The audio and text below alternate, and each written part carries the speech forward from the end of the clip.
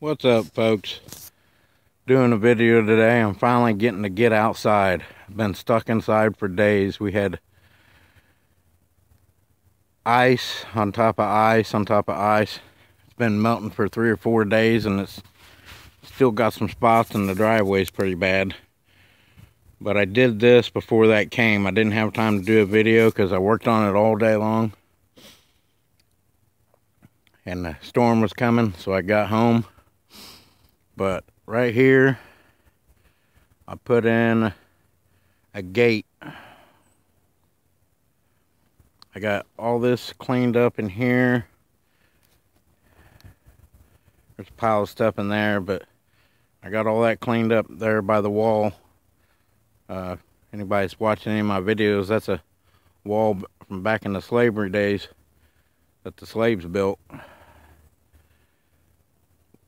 we put up another fence here because the fence on the other side of it is bad. But supposedly what I hear is you can't tear it down. It's against the law.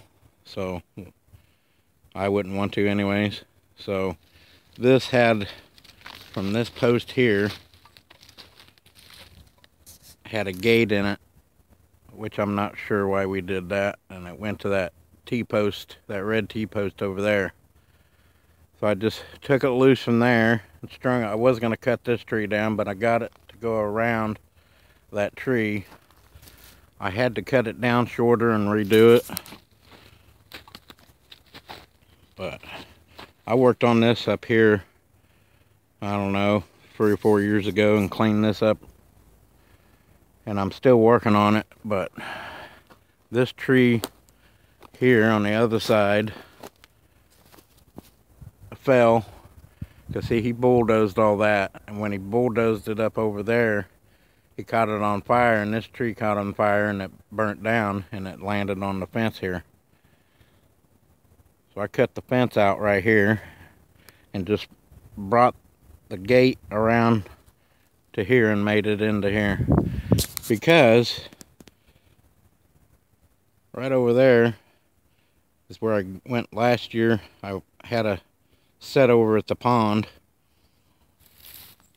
And you see where that gate is there? That goes in to my neighbors behind me. And I've had access to that, but can't get over there because this wall.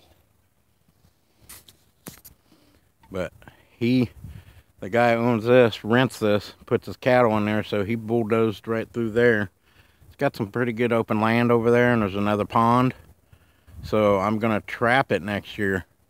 That's why I did this, so I can get over there with the four-wheeler. And then uh, I'm to be trapping over here, too. Uh, not just here by the pond, but some other places. I got a spot up there where my camera is that I do my camera at. Uh, where I got my Bobcat set. I can get through there because I put a gate in there, but it's so badly rocky. It's terrible on my four-wheeler. My four-wheeler has no back shocks. The rear end's made onto the frame. It's an older four-wheeler. So I can get through here now and it's a lot smoother and get back around to some good places to trap. So I cleaned this all up on the other side here. There was a big multiflora rose bush there buckbrush and then I cleared a spot through there. There were some limbs where the deer come through so they'll come over the fence here during deer season. And uh, hopefully the coyotes come through here now because the fence is really old that was there this stuff is so old you can see this it's almost like hog wire. It's almost impossible for any animal to get through but a coon or something like that. A coyote ain't gonna get through it. So this is gonna give them another access point to come through here. My first year I did a bait set right here. Had some coyotes come to it. I had my camera back here but they were kind of skittish of it and I can't figure out why. I've never caught nothing back here in the woods but coons and possums. So But we got some open land over here. A bunch of open land over here. And I'm guessing up there that's his too. That's another cattle pasture. And uh, I'm to see about trapping up there. I'm to go scouting it out and looking at it. But all this here was buckbrush to a certain point. I took one of those push weed eaters. Looks like a lawnmower and did a bunch of this on all my trails last year. Uh, I really need to get me one because I burrowed it. But I'd like to get this all cleaned up and then I'm going to get some limbs off here. And then I got to take care of that limb hanging over the trail there. Up there, when I did this the next day, I had a couple trees down from the snowstorm. So I took care of them too. But I'm excited I got this done because next year I'll have these two more places to trap and bring you guys. Hopefully I'll have some luck there. Uh, plan on getting some more DPs. Uh, the pond over there sits up in the middle of some woods, so I think it'd be good for some coons there. I've seen coyotes scat there before, so I'm hoping there. Uh, it's just going to be something new to me and figuring out where to put traps over there, but hopefully I'll get them in the right places. But I just wanted to bring that to you guys and show you my new trapping spot I got to next year. A little bit of work made it possible. So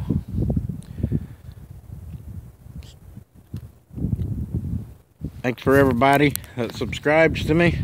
Thanks for watching my video. Leave me a comment and tell me what you think. If you're not subscribing, hit that subscribe button. Uh, check me out on Facebook. I got two links on Facebook. To, one's my personal and one's the man within outdoors. I have my Instagram uh, and my Twitter. And all my links are on my intro video on my page. So hit me up there. Find me on Instagram. If you got an Instagram or Facebook or whatever, hit me up on there. But, oh, and also I want to, before I get off here, I want to give some shout outs. So, uh, Trapper J Outdoors, check him out. Coffee Outdoors, check him out. Now all these guys have got good good videos. Uh, uh, looking up uh, B&O Outdoors. And of course my brother from another mother, Streeter Boys Outdoors. Check him out. I'm hoping I don't leave. Sean Tappy of uh, Trapping Arkansas. Check him out. Real good channel. He does a lot of skinning and trapping and stuff like that. So hit these guys up. And uh, I'm hoping I didn't forget anybody. I should have wrote them all down. uh, let me see if I'm forgetting anybody. Live more outdoors. You got to check this guy out. He does a lot of trapping. He gets foxes and bobcats. And this year he got uh, two deer, two nights in a row in a snare. Uh, pretty cool the way he let them go. You guys ought to check that out. Live more outdoors. But he does some skinning too. And if I forget anybody else, then I'll hit you up on another video. Thanks, guys. Forget to hit that subscribe button. Later. Hey, folks, I'm back. I also forgot to tell you, uh, I plan on getting some uh, the Man Within Outdoors shirts made. I got uh, three different versions. I'm getting ready to get another one. Now, there are if I don't get more orders, then they are more expensive that way because the more you order, the cheaper it is. So if anybody's interested in the Man Within Outdoor shirts, if you want to check them out, like I said, go to my Facebook. They're right there on my Facebook. Russell Jarred. The Man Within Outdoors. Uh, all the pictures are on there. Check them out. And if you want one, let me know. Tell me your size. And then I'll get back with you when I get a few more orders so it can make it cheaper for you. Now, if you don't want to wait, then you can go ahead and order, you know, being more expensive, I wouldn't know why you'd want to do that, but if you want to, I'll order it. It's, uh, after I order, it's two weeks shipping, and then the time that I have to take to ship it to you, and, uh,